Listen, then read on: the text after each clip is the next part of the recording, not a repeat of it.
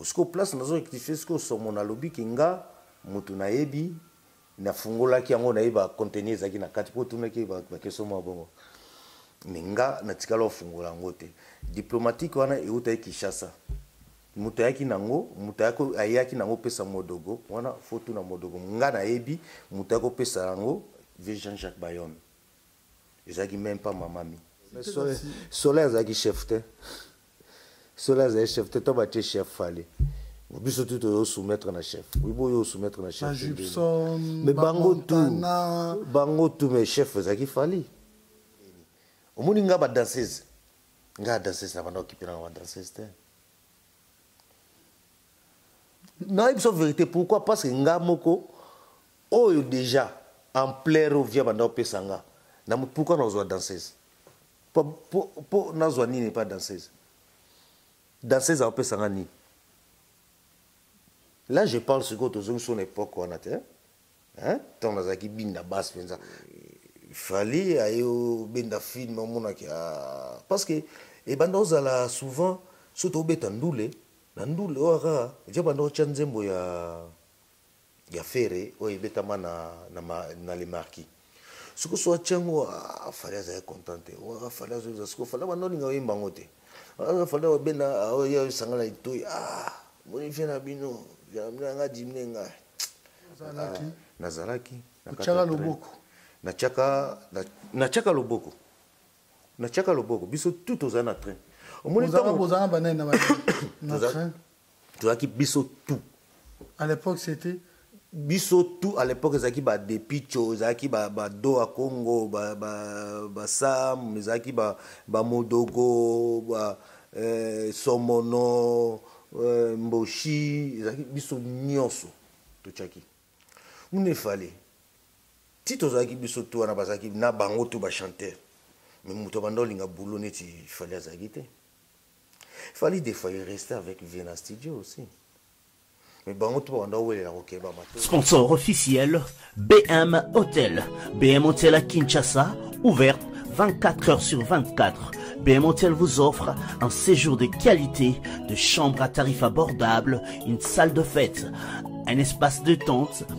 un personnel à l'écoute de vos besoins.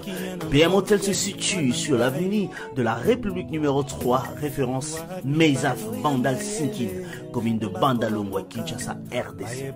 BM Hotel pour de nuit de qualité. Contactez BM Hotel au 6 20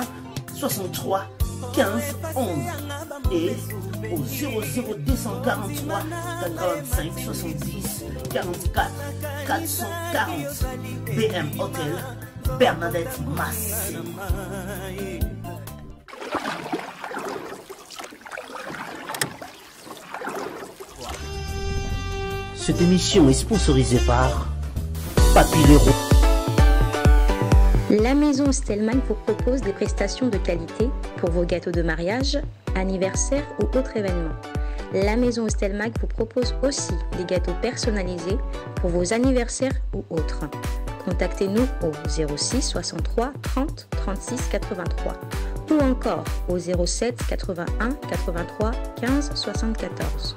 Vous pouvez aussi nous contacter sur la page Facebook Hostelmac.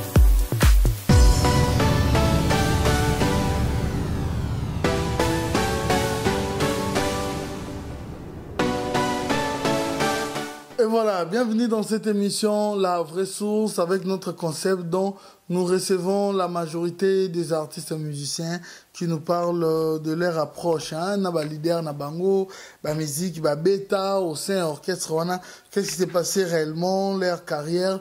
ils essayent de nous dévoiler euh, euh, beaucoup de, réalité, mais dans un sens très positif. Mais comment pourrais-je commencer cette émission sans pour autant remercier Simpson et Célé, surnommé l'homme selon mon cœur, qui est là toujours euh, pour réaliser cette émission.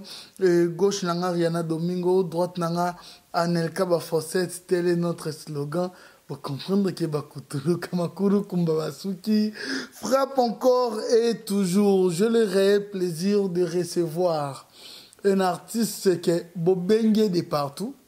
Bobengue de partout parce que il y a des artistes qu'on a réclamés.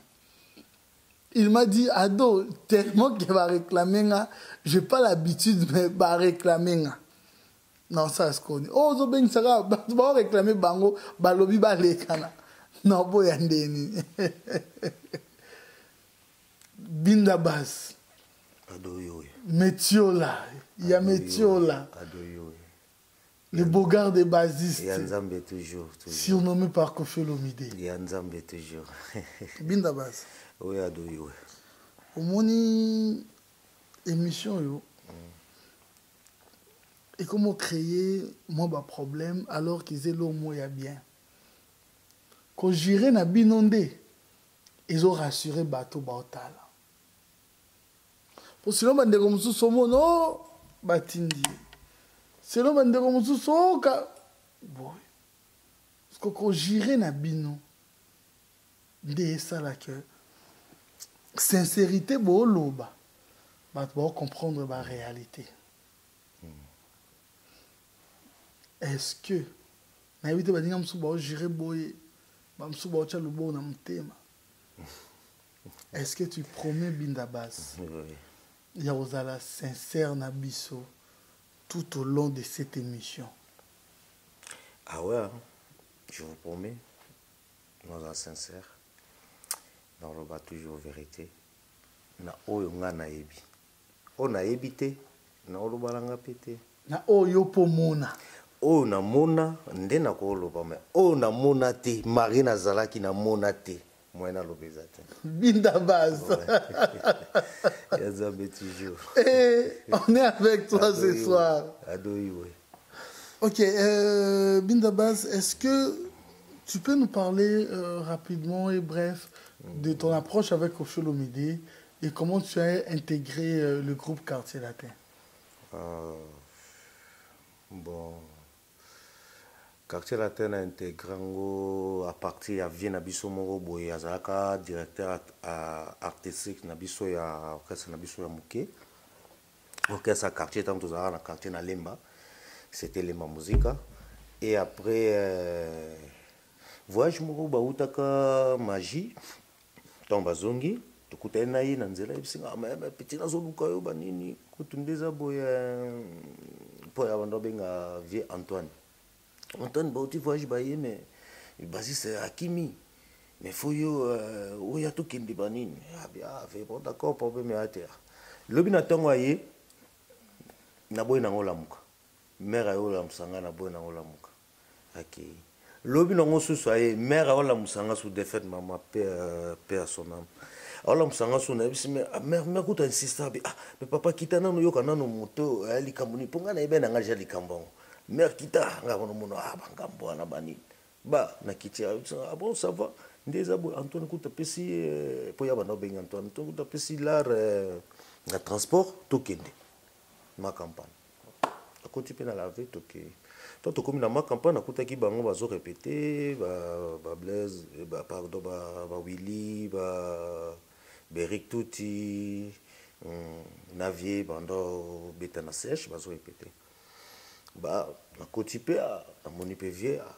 ntango amoni ngai mpe abi awa ah, obazisa bogar boye nde nini bon bref c'était entre guillemets atanga ah oyo oh, mpenza basiste na ngai basiste na ngai mpenza ye bon nga na comprendre mpe te j'étais là et après esili nango euh, ah, ba eh, ba répétition banda osalana mpe esili c'est bon zela comme na obima bakota ba, ba, ba les châteaux ntango wana ba les châteaux comme ça natika tokoti mpe na car donc tokomi mpe na chateau na, na le chateau wana na kin wana na le chateau na ville wana te eh, bakota ya sozacom wana via yebisi nga mpe na kara abi ah, kita kita kasi bamona yo mpe bamona yo oza na nga kita na kiti mpe bana lemba bazalaki wana bafe timote mpo aya kotala via kotala sikoyo akokutana na igo na défunt Hugo ah, Pierre voilà que son âme repose en paix ya kole kole ta nzambe voilà nde na kiti wana mpe ah, bana lemba mpe baoyo basala chateau eh, na les chateau ah. bamoni nga mpe ah, ndi mpe asai confirme ke nakoti e après nayosala test na ngai nasalaki yango na bandal na bandal na bandal nasala test ntango wana nasala test moto abetaka tumku caps kapangala to na sala test et après test bon na bandal après kokota yango wana ntango nakotaka nakutaka blanchard azalaka déjà nakutaka na pati po pati akota déjà avanga après nga mpe na ye nakoti e kokota nga nyonso yango wana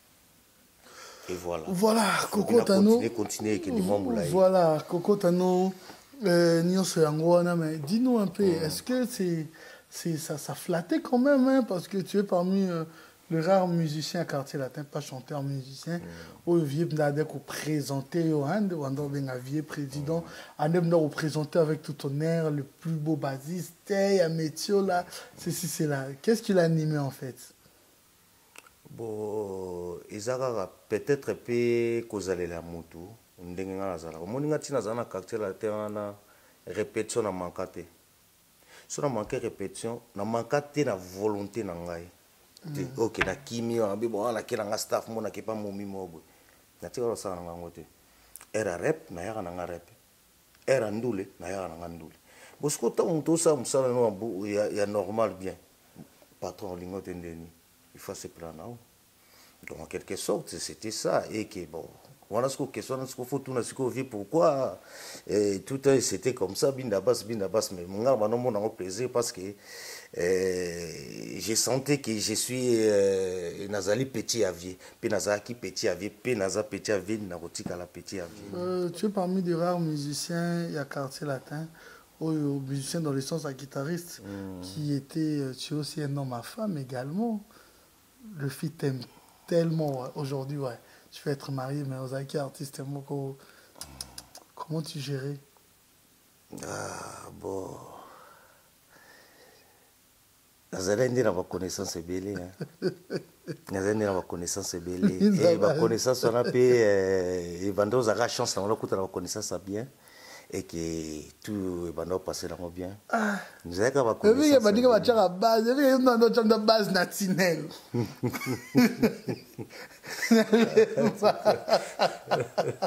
koma moto okokanga tinele otie base na tinele balingi batya ata base oyo epa masa mo boyo na makampani yo notya na base na tinele hmm.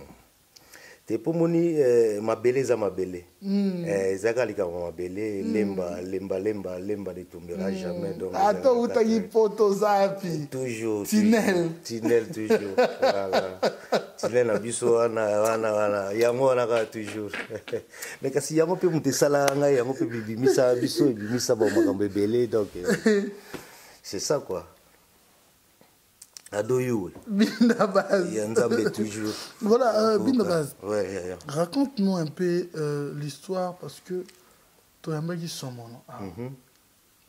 Est ce que tu avais suivi les propos ya Sombono sur histoire oyo ya Brazzaville ti boma Afrique du Sud ti bokei poto? Mm, nalandaki ye mwa moke. OK. Mm. Est ce que avant développer yango aux attentes développées makambo alobaki sur eloko wana dans mm. l'ensemble mm. c'est vrai ou c'est faux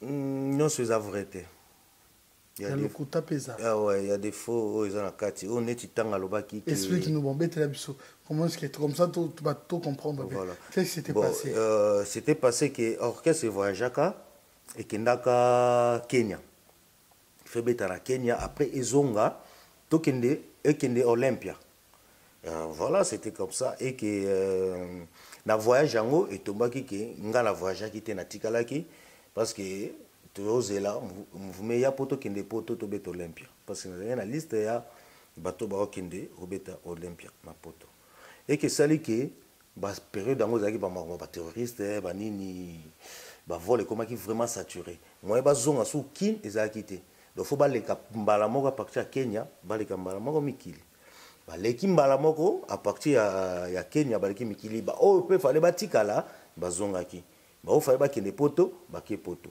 biso sikoyo totikelai na kin yango moni ezalaki ngai rosette eh, modogo na somo to traverse toye na braza mpo na kin mpe tokoka kozwa vol te to traverse toye na braza mpo tozwa vol tokee mikili eke na braza ezwaki susu mwa temps ezwaki mwa temps na temps wana tofandaki wana eke etombe ke tokomi na semaine wana ya, ya, ya concert olympia mpo ebetama samedi un mercredi ou jeudi comme ça téléphone Vieux atindeli Modogo billet, Modogo billet na ye po akende po Modogo azali na diplomatique moko fallait amema ya vieux.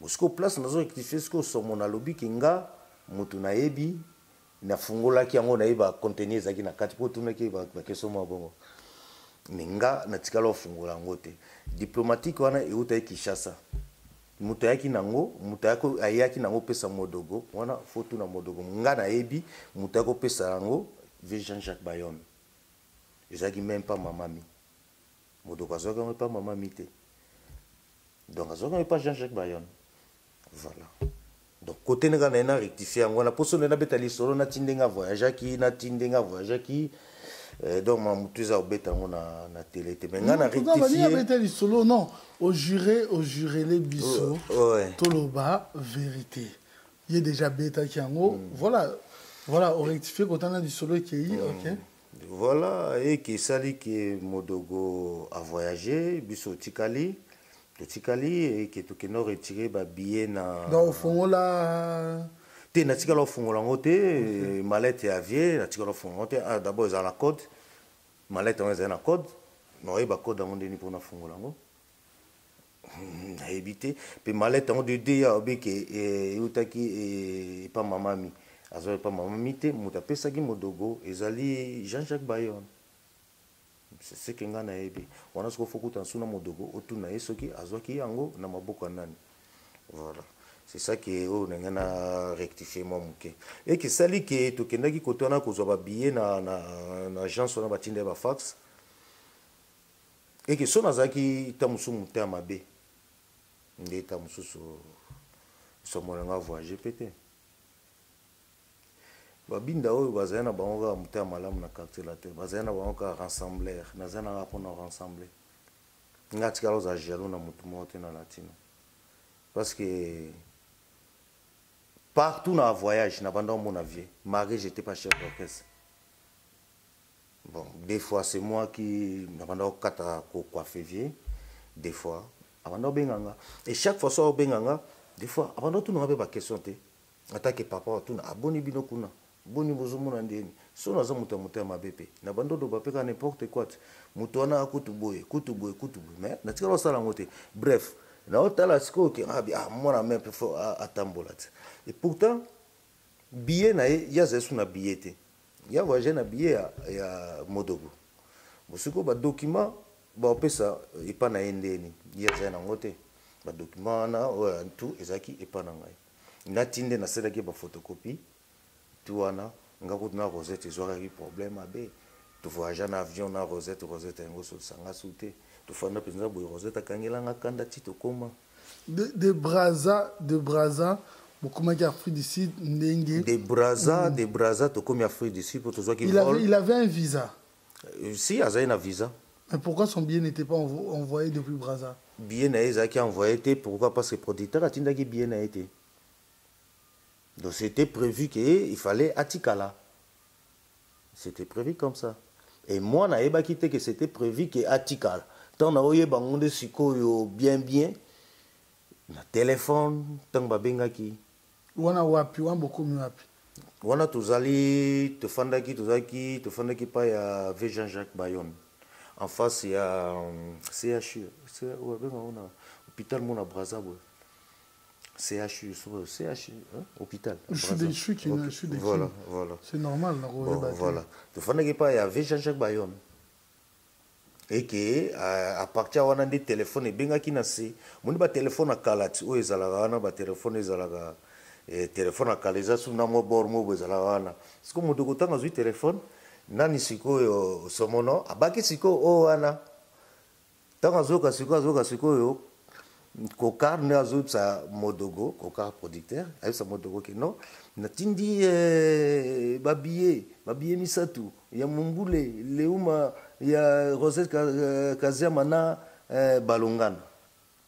bano ngana modogo modogo soki otanga loba te ngana azwi bie na nga somono abloke modogo ayebisi modogo afini modogo te oloba te euh, po déjà po nayebi te pourkui aloba ye bongo eke esalami ke modogo mpe alobi te moi jete la ntango makambo to aya modogo aosola na telefone esali mpe ke modogo na soir atamboli biso toke to retire ba billet na retire ba billet wana ka nde abeta lisolo eke na agence wana tokutani na francis kalombo nakutani sikoyo na francis kalombo biso opesai mbote eh, developpe na francis kalombo eke masolo eh, amona me ofungolaki no namoni kaka na aéroport ba bimei biso na aéroport siko rosette alingaki yango te rosette alingi te eh, mama boyo eh, akufi soki ayoki boye boye boye ah, nga naokalme kaka rosette naokalme kaka rosette ti esali mpe ke toleki braza tokomi na afrique du sud na afrique du sud fai sikoyo tozwa sikoyo babillet ka ndenge ezalaki nde batindaki misato wana batinda suka facture afrique du sud mpo tosali transit wana tozwa su mosusu ntango tokomi kuna nde tokutana na baconseiller ba ya ya ya Henri Mova ya son excellence Henri Mova tango wana bo biso yebaki penza te tango wana euh, Olympe ezaki 98 hein?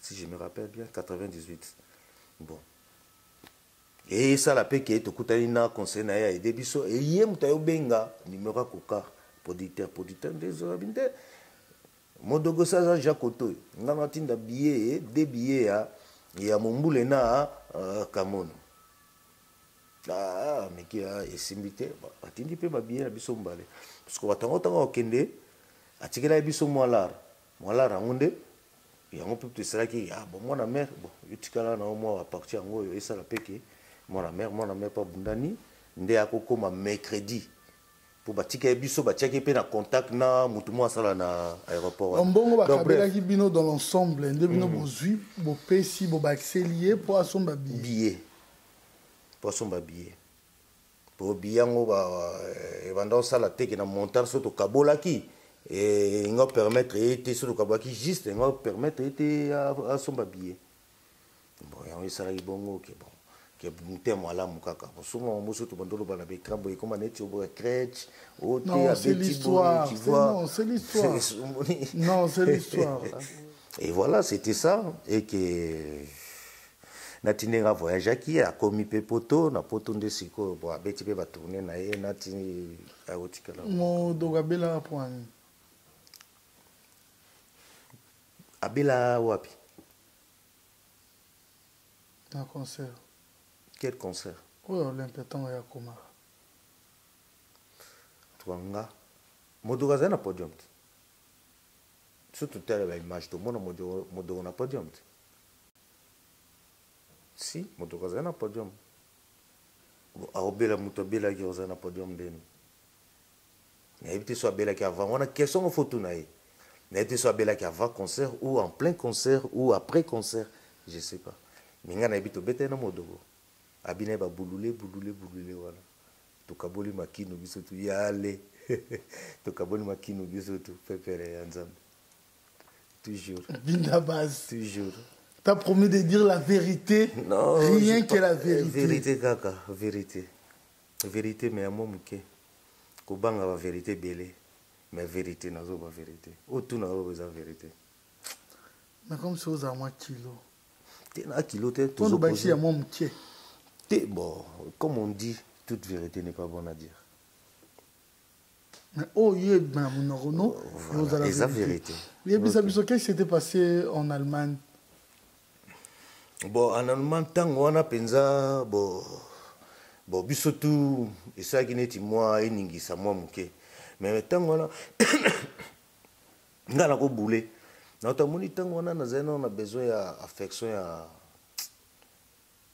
ya papa mpo namonaki vraiment ke ah, ya kokende bamakambo oyo academia nani mpo nayoka nani mpo nani yango adirige ngai biso na biso ekosimba ah, oloba likambo bokoswana oyo esali boye ah. Nayebaki na ngai bamakambo yango. Biso tout toyebaki bamakambo yango. Ebandaki ndenge? Ebandaki na Allemagne, ebandaki na Allemagne, na concert moko tobetaki, ebandaki na Allemagne, à partir ya ba concerts wana, après concert wana, ekomaki que moto na moto akomi oyima yima. Mais comment, comment, Binda, s'il te plaît, c'est yo moto obeta biso masolo. Ouais, loba. Mais zala biso clair. Naza clair. Parce que na pourquoi nga na solano boye? Par rapport à baningo balekaki, Ils ont dit que banzembo mususu une manière de ya ko se révolter. Banzembo mususu mm. bebi que président bina kota nango. Mm, mm. Bango ba ande ko beta ngo alors que ba beta ngo te sans ye. Mais mu toujours na ndo beta base ezaki yo. Si nayebi nayebi euh Comment c'est omituna te mais nzembo to beta yango soki ye moko aza mais ndeni c'est que bino tout quand même bozali pe à révolter. Entre guillemets, on peut dire oui, on peut dire oui, parce que inconsciemment, peut-être. Oza nozomona, ozomona, po nga ton ayaki na ye mouvement. Na nakutaki ba période wana nakuta pe bato mosusu bazalaki na mouvement. Oyo bazali ba doyen na nga na mona nakuta bango na mouvement. Donc nakoza pe nakoza pe nazalaki pe na mwa limite moko epa na bango na tango wana.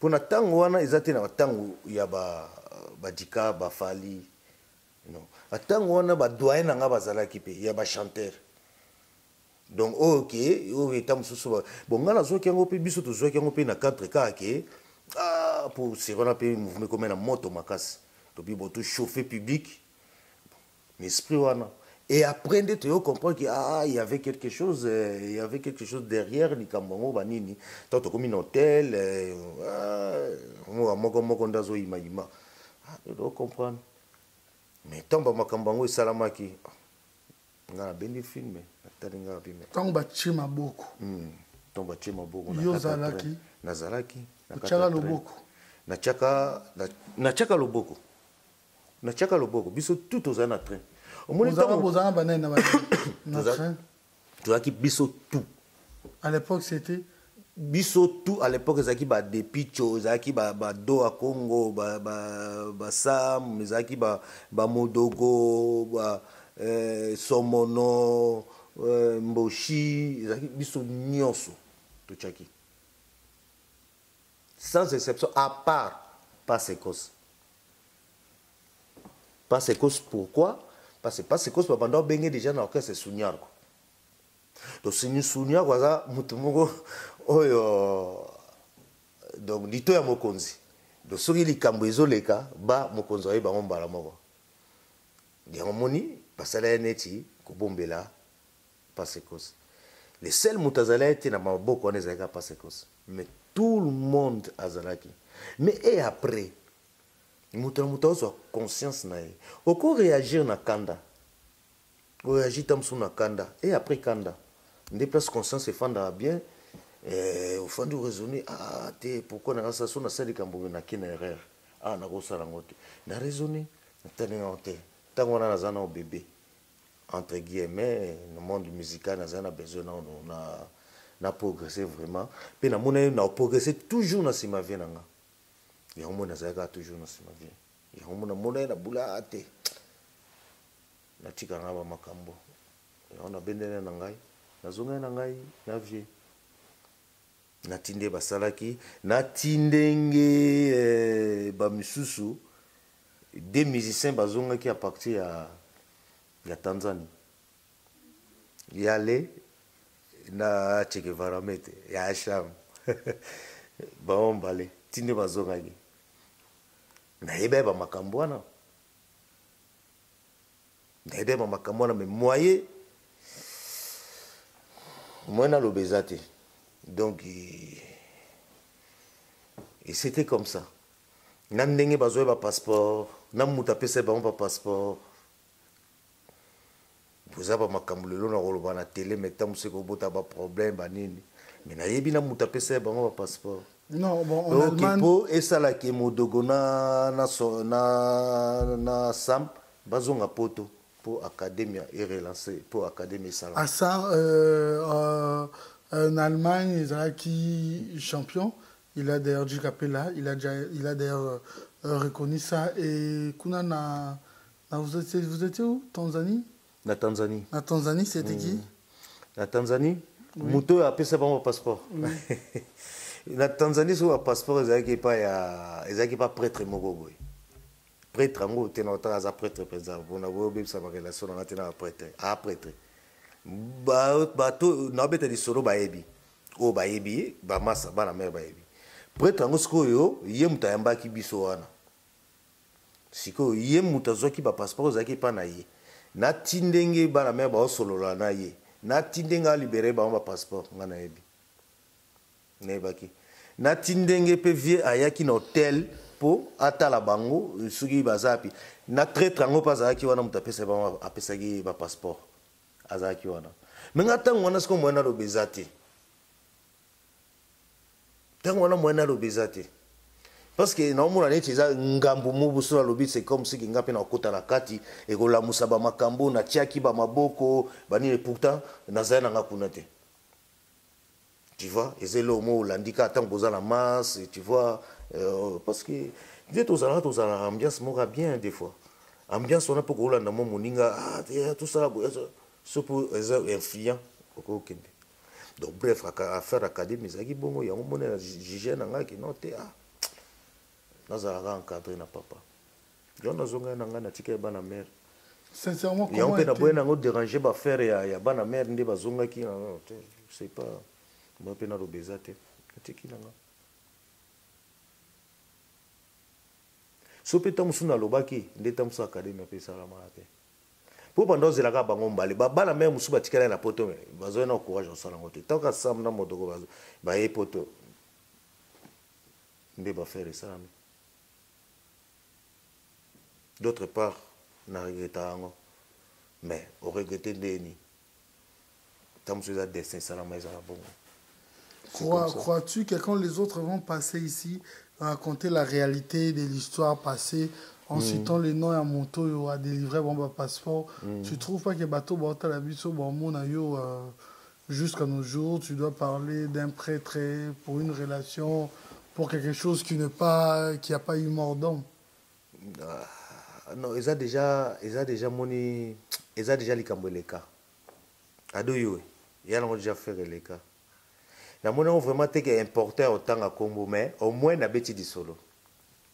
au moins quand même nabeti lisolo ke bato bacomprendre ke ti ntango mosusu esalaki boye boye na bana mare mosusu mpe bakoyeba lisolo yango na nsima ntango mosusu bayebi misu mpe bayebi yango te voilà c'est le plus important voilà tu es libre tu dois être à l'aise mais réellement ntango bozongi académie ekei est-ce que nde botikali na groupe wana vous avez mm. ressenti ce vide c'était vraiment un choc et et état d'esprit ezala nde non commençons par le président mm. sibo kitati bino Ah oui, ezalaki choc. Hein.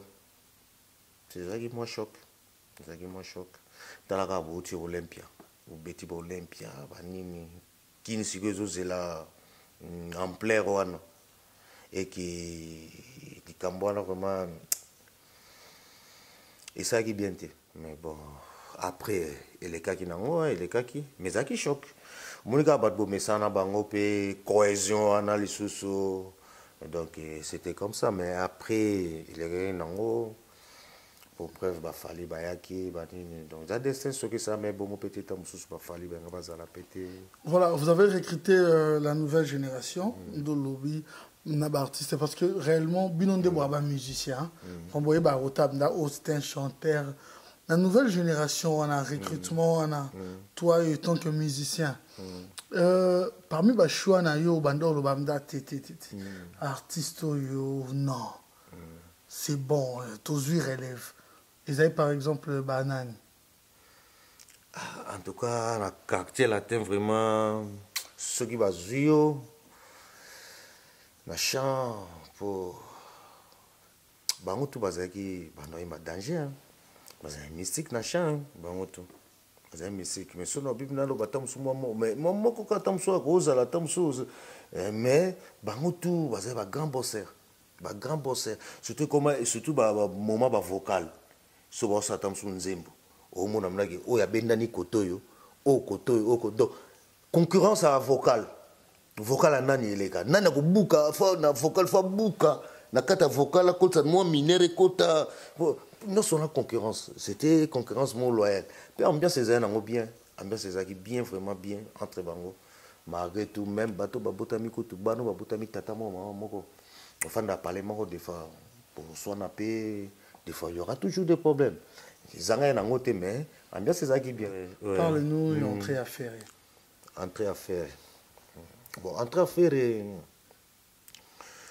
entrée à ferre neti parce que eh, neti nga moko personnellement nga moko edérange nango nga te mpo taka na chanteur neti ferre ederangera nde nini mais bamusicien bachanteur ederange bango eningisaki mwa mwa mbonge yango wana ke esala bongo mais bakestion yango mingi otuna bachanteur yo momonaki bachanteur tout balobi ke ederangeaki bango mais ngai en tant que guitariste ederange yanga ata moke te talaka tozwi eh, fere chanteur neti fere toza no black apart garçon na niveau ayembaka wana ondira angelu bongo nda na ngai aboya patron nini na ngai aboya misa bongo vraiment lelo akoma patron c'est normal c'est normal et puis surtout bazali na mouvement ntango tozali na mouvement ado yo ntango tozali na mouvement tozali oyebisa bango omoni bato neti omoni so tobi toloba ye azokaka prime parti prime banini neti fali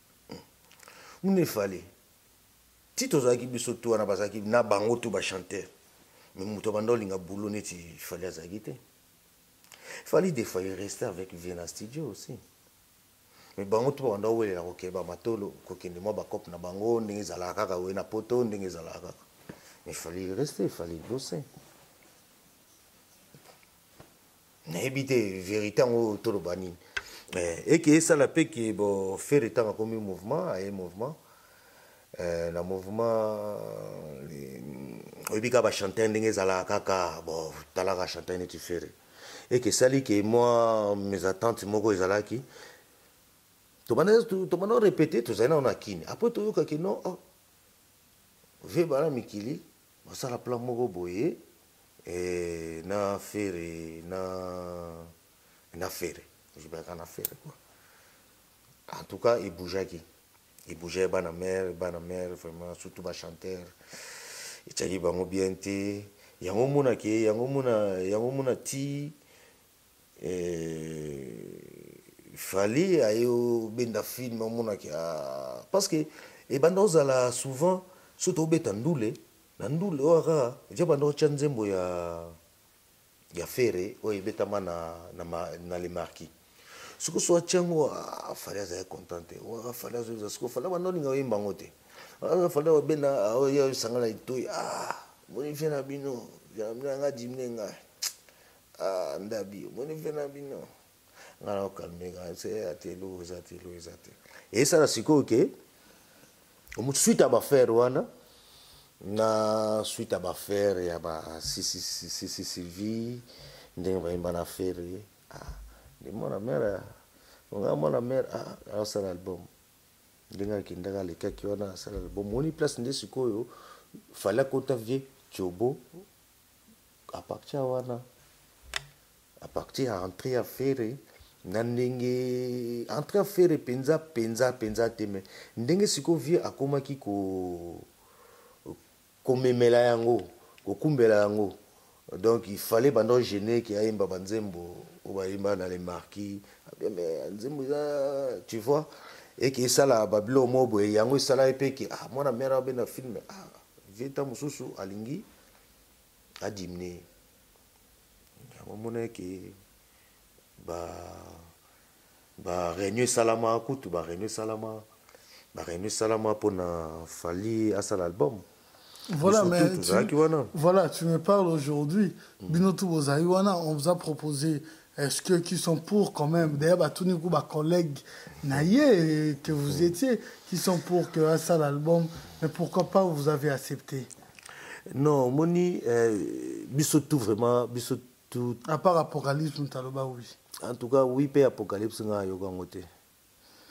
nayo kaka nanga wi apocalypse te mpo na loba verité yo obinaka na loba verité ngai na ba oyo ngai nayebi nayoka nanga mpe wi apocalypse place aza te parce que biso tu tozalaki wana vi atunaki question motu moko te atombola ye mosapi wana ke andimaki ke fali asala nini motu moko te mais toya kopesa réponse ave solola na petit na yo Bobendana pembeni, bosolola bino mbale. Pourquoi Pourquoi euh, vous euh, Pourquoi parce que euh, non parce que kolo mouvement eza nango vie. Hein.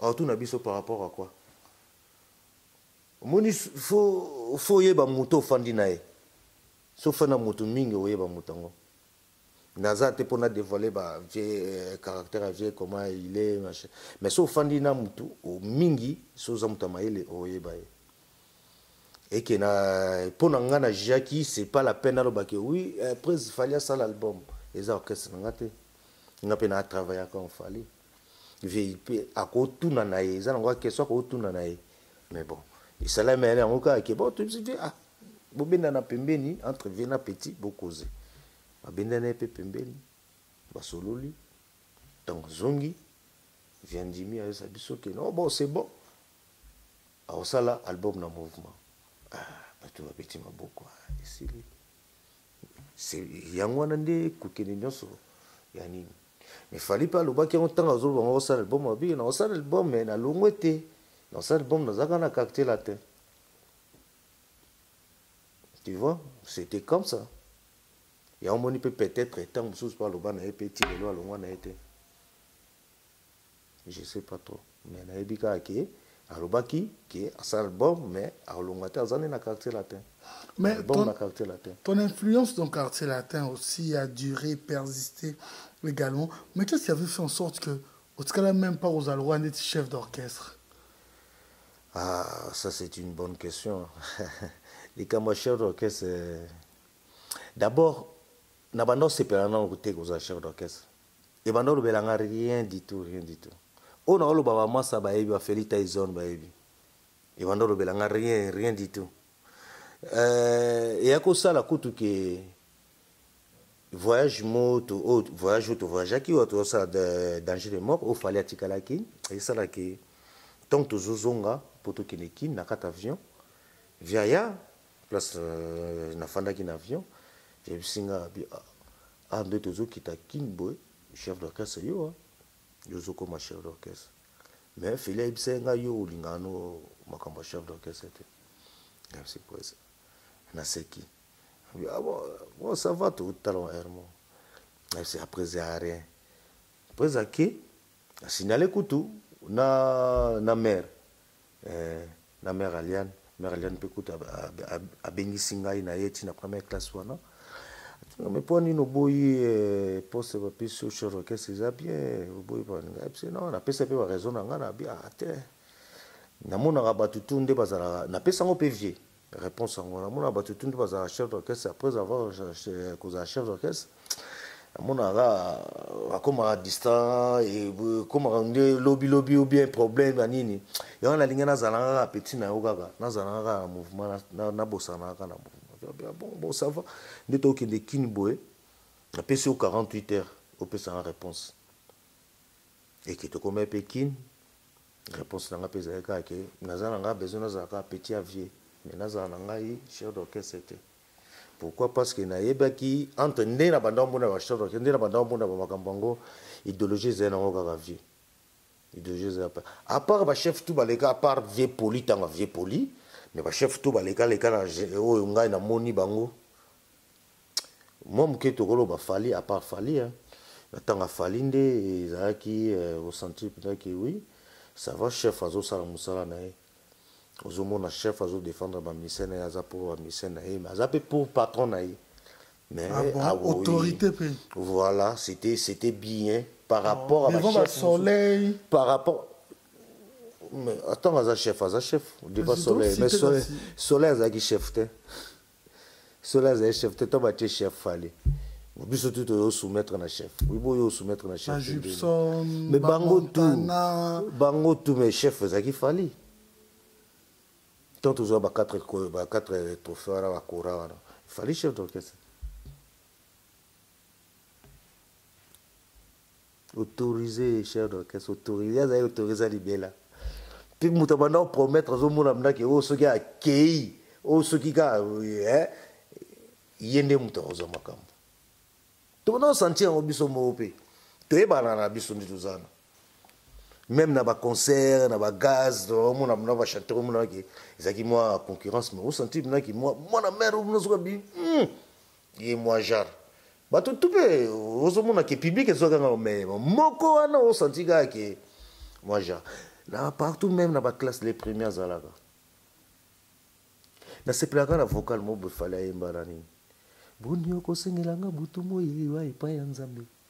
mais nzambe pesa protection na nga tika nga na vivre la vie na nga pourquoi esalaka yo minga ye bozwi na nga epesaka yo likundu motema mabe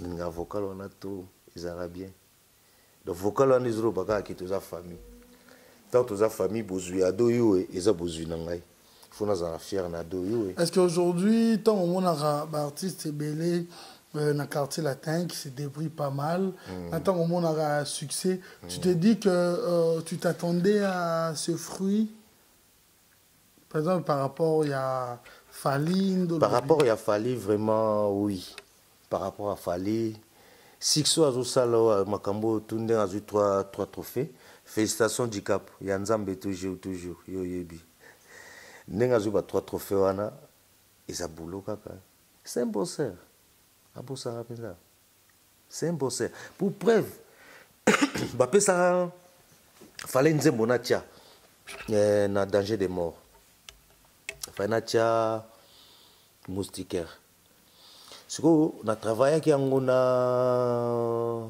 na des chanteurs na travaillaki yango na mirage na travaille na aso nabengisi mirage na aso baya baya na lemba na pale mpe tobose tobose tobose tobose me bakokokanga yango te ntina suka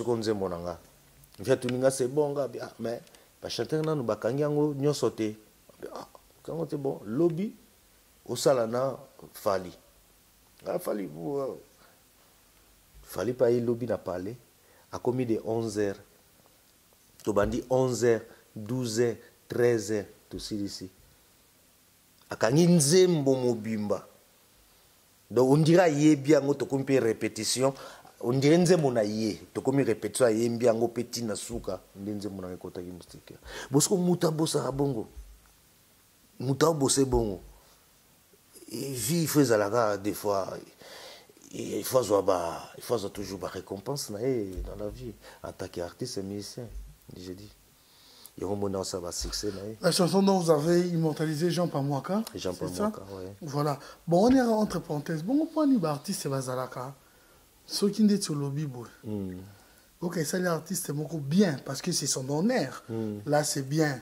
Parce que bateau batali biso d'autres gens mm. peut-être pour na bango azoku misaye parce que ça, vous avez ça, des voilà. relations personnelles. parce que ozo pour le bayi pe loro moko boye ya vérité moko boye oyo mm. ekozala wana automatiquement ekomi cop tu es manipulé c'est voilà. là.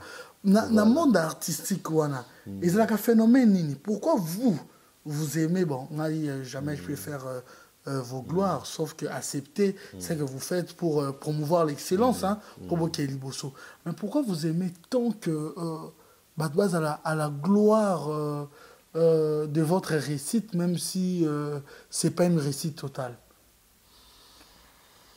Ah, eloko yango omoni eloko moko boye nayebi te selon ndenge na comprendre eza koasime ba koasime vie actuelle peut-être misusu dans leur tête batikali na baza na mwa décalage ya temps ntango mosusu bamona kaka temps wana oyo ke ezalaki temps wana bamoni kaka baza na temps wana kaka ti lelo ok non te temps wana ezalaki temps ya passe sikoyo towana ele présent tomona yango mpe moto mosusu azalaki na ye footballeur après ase convertir akomi na ye ntango mosusu basketteur neti jo akimaka mbango wana akomi na ye footballeur bato olakisa bor nemo atie kutu bit aototya bi achange na ye mpe mwa mwa nini parce que aassume na ye yango mpe bon oyo oh, carrière oyo oh, esili mais on parle pas ya carrière esila oba sikoyo eza sikoyo ke aboyi koassume vie actuelle oyo azomene c'est ça kesalaka bongo mpo jarga ake a ah, te naza kaka naza kaka Ozo nourrir na na mutu na yo ti. O se nourrir yo moko po o lutter kaka. Mais yo moko na cause oyebi penza ke eh elo eza te. Eh na sila eh. Yo moko na cause ozo tabi na na par rapport à moi na mère. Eh par rapport à moi na mère wana. Par rapport à moi na mère wana. Par rapport à moi eh pardon. Là je parle de chanteur. Oui. Eh. Mais boye ba nga so nazalaka chanteur vraiment eloba vie. Nga so nazalaka mwana ina. Nga bina ba so nazalaka chanteur. Nayebi te. eloko moko so erate ekorate mpe te boyeba mpe ke chan na ngai oyo nde naza boye ya ndeko oyo ah, chan na ngai ya bien mai oyo nabeti mpe koleka oyo si boyeba yango bino moko si toyeba yango ntango eza chant eza bien eza bien Ah bon Et Bien sûr. Boyeba mpe ke chant oyo esala mm. succès mm. koleka chant na ngai. Si, pourquoi pas eyebanaka tomonaka yango te oui mais yo moko boyebi yango biso moko mpe toyebaka na ndenge ya baorchestre ke jamai okoleka mpe na tv mpo ondimi ah. nayebi te mentalite wana ewuta wapi en tout cas nayebi te mentalite omoni nga sikoyo tellement ke nga nakola na nga na bakola déjà na baparole de dieu tu vois nayeba déjà parole de dieu avant nakota nakoma musicien donc mwa conscience wana ezongelaka ngai ya kozala mwa tu vois bon c'est un peu différent bon biso osime na biso toza na biso lelo tobetaka na biso eh, ojonga okule vendredi oyo naza wana biso obetaka voilà c'est njonga voilà. c'est la classe et la différence voilà. j'en profite euh, pour dire déjà euh, le vendredi également euh, wana na babinda base vraiment ne manquez pas le samedi également dimanche chez Djonga un grand merci également à Olivier euh,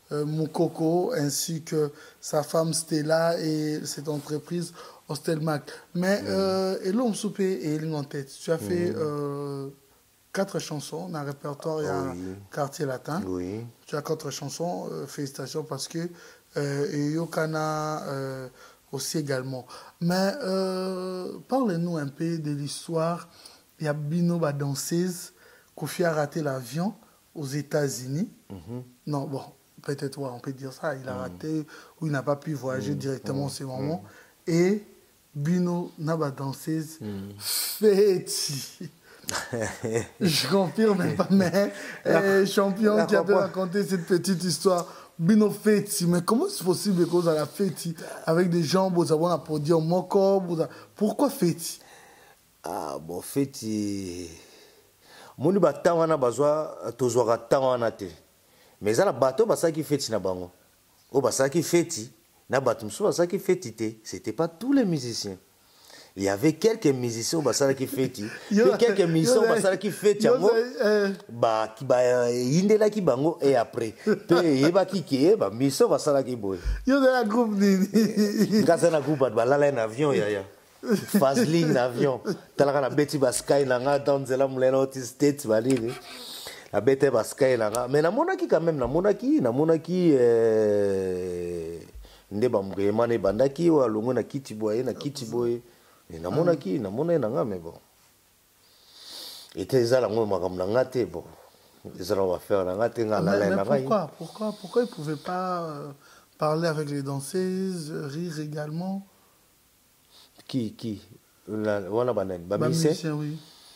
ah, eza musu pe ta musu ba solola na bango mais misusu ba ta musu ba bizaki non et bandeni na après na yoka ba masolo ki ah ba mise ba bizaki na na ba danseuse oh, ngala na la la ki ngala la la ki na avion mais tout dans une avion na avion ba na place na bango voilà bosco atayo bosco place ngala fana ki ta musu na zaki place wala te ma mwezo leka eleka nini na avion ah na avion ba faire eleka courage na yo kati courage na yo à partir courage na yo eleka partout partout yo lingi affaire eleka eleka na courage na yo sikobopondi kaka momo wana oui pourquoi, pourquoi alors les, les danseurs se sont sentis libres bongo ya koapprocher bamusicien ah, parce que c'est normal parce que elles sont pas tout le temps avec nous baza tout le temps na biso te barepeta na biso te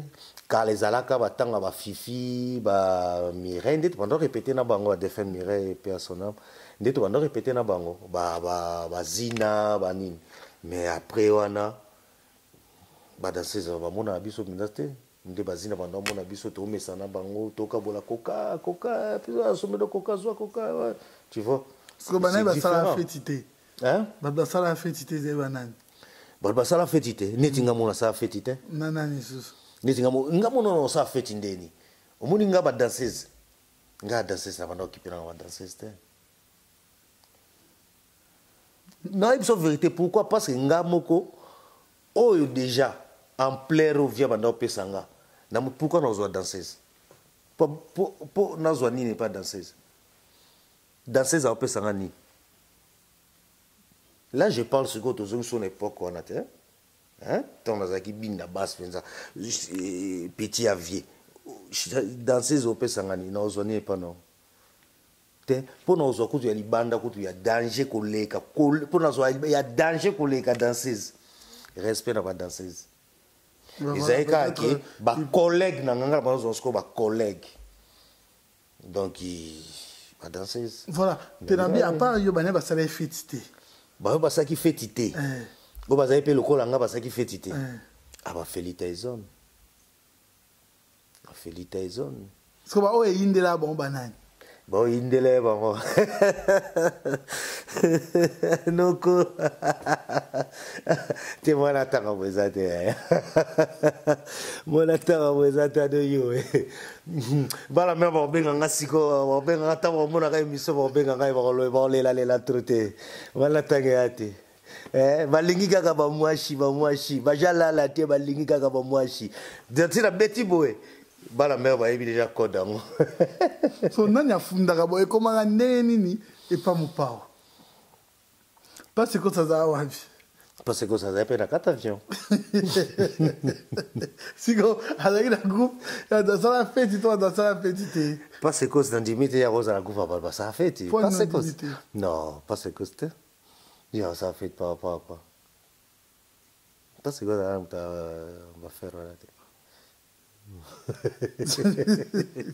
boza ye to babiseni boza bona avion oyeba mpenza su mpenza te nayebi ke voyage yango tozalaki fali tozalaki titina euh, tozalaki gibson brigade gibson gibson asala feti te tozalaki lola lola mwana asala feti lola oyo eza mpe asala feti me na oyeba nde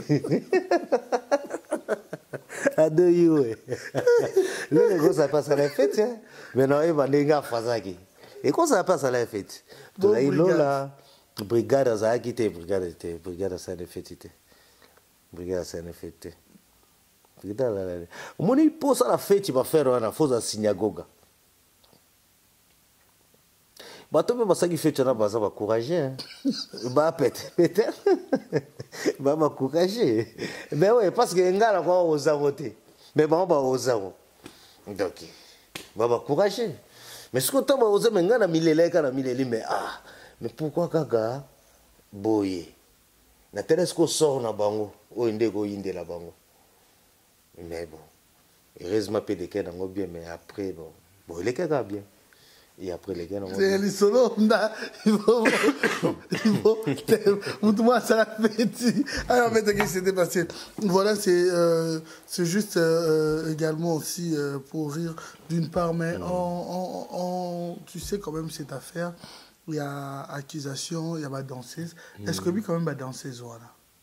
si naye ba danseuse yango hein baza ba petite sœur tondo beta na bango hein. voilà accusation wana sur Koffi Olomide mm. sur viol et séquestration qu'est-ce que tu en penses ah ba petit wana selon nga nga mona ba petit wana ba kosaka bango selon nga vna mona ba petit ba kosaka bango na bateau bazala poto akino po bozwa mukanda rapide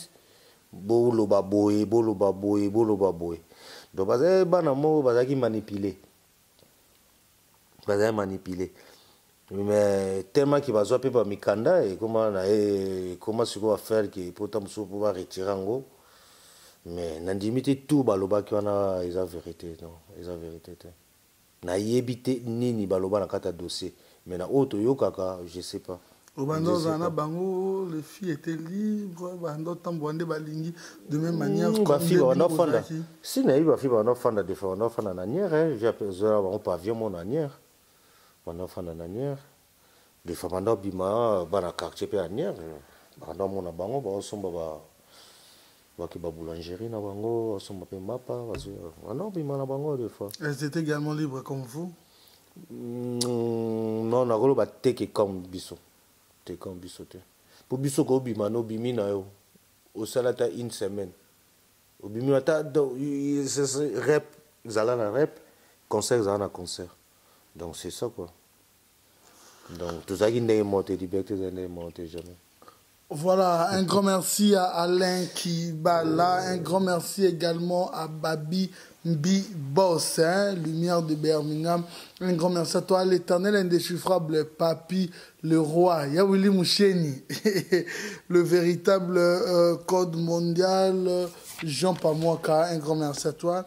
Un grand merci à Douche Kapanga, Ingrid Kabongo, Alissala. Un grand merci à vous, Bandeko Nyonso, pour participer pour la récite Il y a conférence et Salemagi dans de très bonnes conditions qui avait comme thème euh, euh, l'enfant, l'orphelin de riz, dit sorcier. Un grand merci également, un grand merci également euh, à sa grandeur spirituelle, le prophète Konde Polo Dominique ainsi que na eglise Liloba na Nzambe mobimba. Voilà, nous tendons déjà euh, vers la fin euh, de cette émission.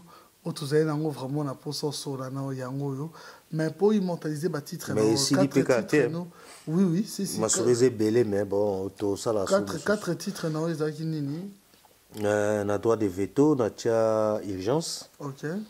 Euh, na force de frappe euh, na tia au secours okay. après na faire d'état na tia à nissa okay. après na danger de mort na tie moustiquaire okay. voilà donc trois ya nzembo ya seben na nzembo moko ya rumba pourquoi tu as quitté quartier latin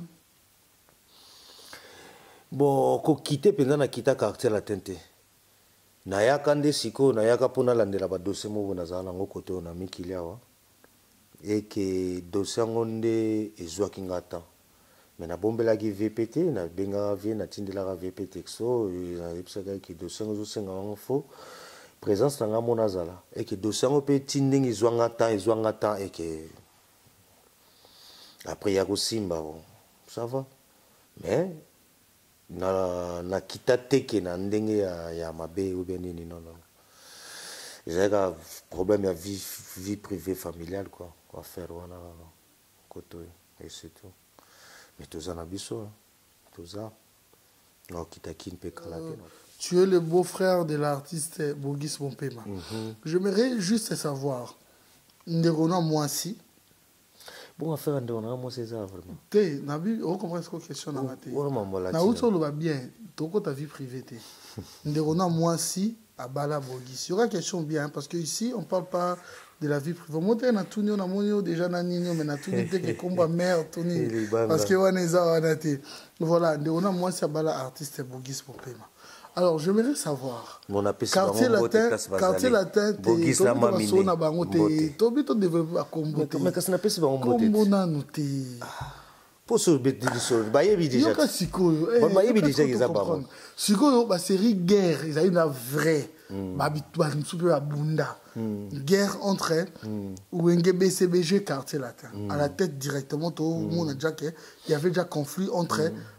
JB Mpiana et mm. Koffi Olomide. Mm. Alors comment est-ce que obandaki na guerre wana ba oyo fo baleka ba mm. chrétien ndenge banda ozala mm. bafo baleka bafinga mm. tandis que na cadre mo familial mm. ta sœur azalaki mwasi ya musicien moko na ngambo mosusu mm. là où tu étais comment na yo mm. na ye comment est-ce que banda osala mpo na polémique wana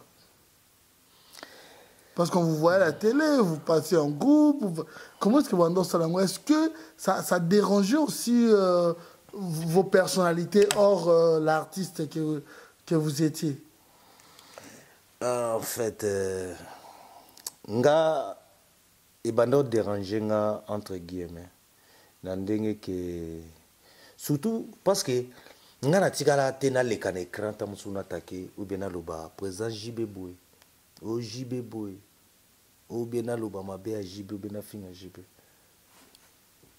eza ndenge na nga te defin mama na nga maya bectos pe asonama akodisanga bongo te alakisanga bongo te donc na banda kokamwa kaka sikoyo ke mwana mare ye des fois abanda kosala yango tu vois eke ekomaki sikoyo kosala na ye wana koleka na koloba nde ekomaki sikoyo kogene sikoyo parce que kuba sali kuba dilanga kuba sali dilanga nga naza na, na, na place na nga nasala na na patron na nga mais naotala mpe intérêt na ngai ti mpo so otemisi mandoki kote na nga na olinga te nini nga mpe funa temisa mandoki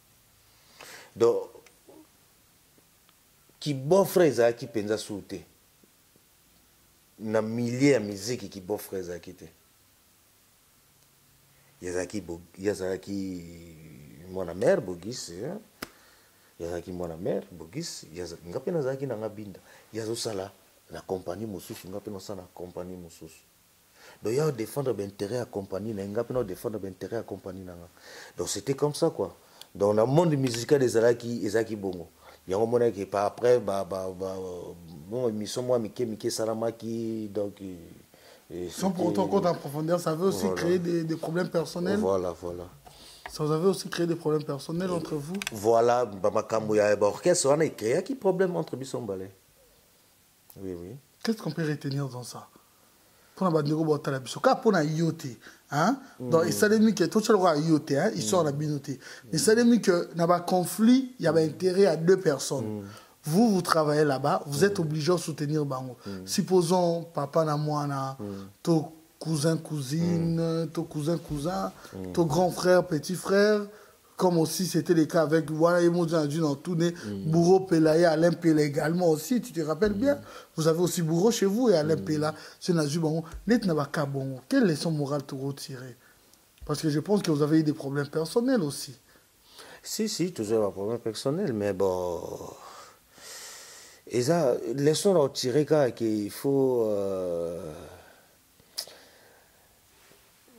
naopesa yango par rapport ya ndenge ya biso ba musicien omoni ntango ozoleka na écran il faut yebaka ndenge aolobela eke biso ozali ba musicien il faut pas directement ale kocretien ntango mosusu bos moko boye ya nini civo eza kaka ke bamisia lelo fo bayeba ndenge nini akosolola na écran parce que lelo ekóma nango kocretien motu koloba kofinga motu ekóma nango facile eh?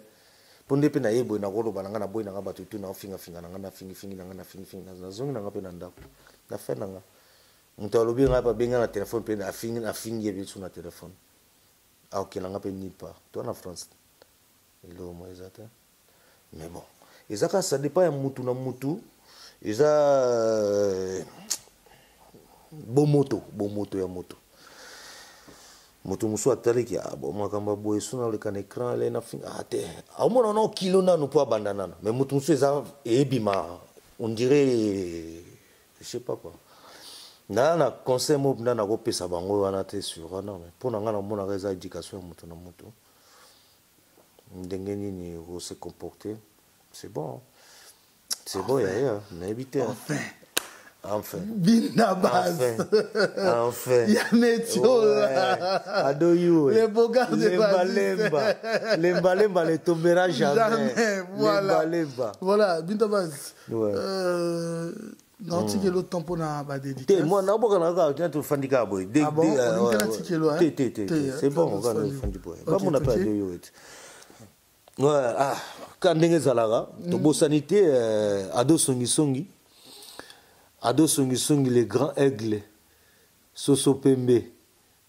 Hum songa mbele ado songi songi beni ko vundu kando olobaki ado yo yeyo omoni ado yo eti ah, vie vie foleka kaka vie foleka kaka bon naleki ado yo yeyo beni ko vundu ya nzambe toujours bon nga mpe bato babanga nazalaka mingi te nabosani so nani ah l'imbattable djonga okula Ah, moi, na bosani yo te djonga okula l'imbattable C'est Djonga.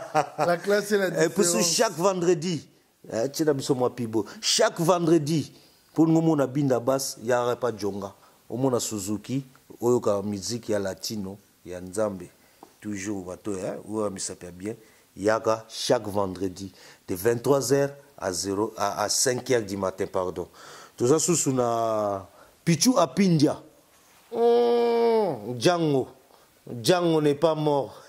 Napesi mbote na, na grand prêtre mère Clédia Muswahili, la maman des princes ya nzambe respect mère napesi su mbote na nani susu nabosani nani nabosani nani nabosani nani ah. pax medina pax medina ya nzambe masolo wana tosala yango carre okay. apesi susu na ado yu esusu mbote esusu ye esusu okay. ya nzambe Merci. voilà de gros bisous à bm bernadette napesi mpe na india ma indiana manon et mobertoni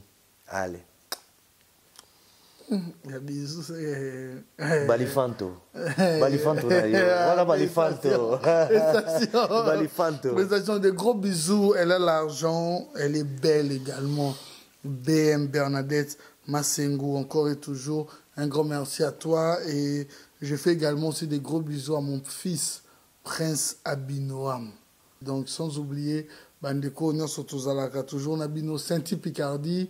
Un grand merci à toi, Cilia Djoboke.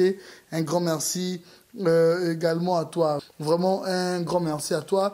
Restez branchés sur B1 Télévision chaque samedi à partir de 21h30 et la rediffusion, c'est le mardi à partir de 12h30, c'était Adoyoué à la présentation. Quant à moi, je vous retrouve à la prochaine.